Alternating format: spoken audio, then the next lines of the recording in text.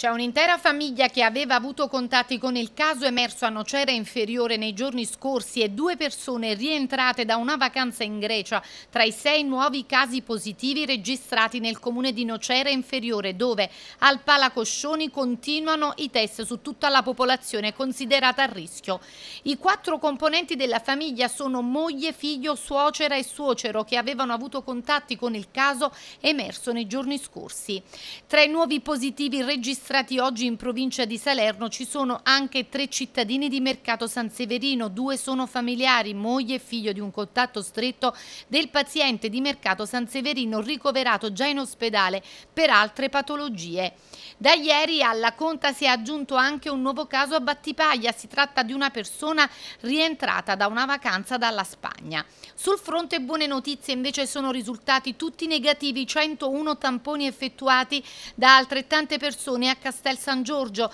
Si tratta di gruppi che provenivano da vacanze all'estero, avevano preso parte a un evento presso la sala ricevimenti La Sorrisa di Sant'Antonio Abate o avevano partecipato al matrimonio al battesimo a cui aveva preso parte il fotografo risultato contagiato. Finalmente tiriamo un sospiro di sollievo, ha detto il sindaco Paola Lanzara. La macchina amministrativa e sanitaria ha funzionato, ora andiamo avanti con serenità ma senza abbassare la guardia, tant'è che la prima cittadina cittadina di Castel San Giorgio ha obbligato ad utilizzare su tutto il territorio comunale H24 le mascherine.